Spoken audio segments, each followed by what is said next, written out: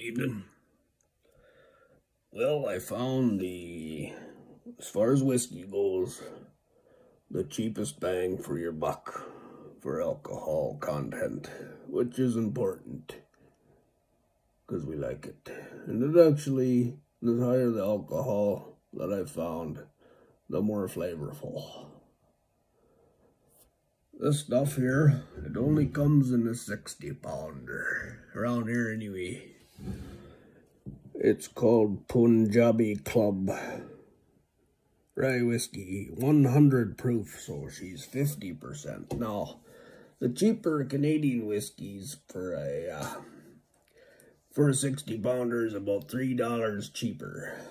For $3 more, you go from 40% to 50%. Pretty sure it's better bang for your buck. But it's gotta be palatable. Let's see if the Punjabi Club whiskey will cut the cheese. That's rye, and it says Punjabi on it. So a guy wonders... Well, whiskey guru boy, where's that whiskey from? It's kind of confusing. It's actually an American. It comes from the States. I'm not sure exactly where. Uh, Monroe, Wisconsin. Cotton picking all the way from Wisconsin.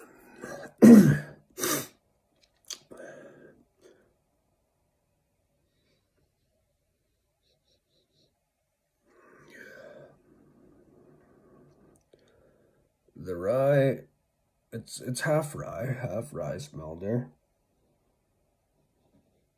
The rest, it uh, smells a bit like um, Irish, like a flowery, fruity Irish mixed in there. I get some kind of fruit there. It smells okay. No complaints on the smell.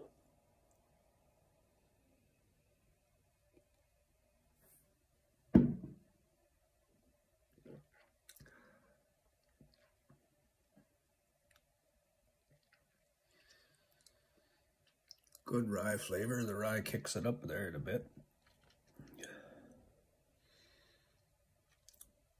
If it's flowery, just some kind of little fruit in there. But dadgummit, that's good. There's nothing wrong with that. Wow. I was thinking, you know, if it was like Royal Reserve, okay, you know, it's it's the best bag for your buck, but that flavor or, swear jar or, or that last Grants I had. but Cotton Picker, I gotta put this up there with the Alberta Premium. It's good. Egg burn. Too bad they don't uh, distribute this more. I had to find this bottle in uh, in the BL. And I don't know if they even have any more, but yes, sir. You find a bottle of this. You like bang for your buck. It's good. It's good rye. She'd be good, tasty, and coke or whatever else you like your rye in, but...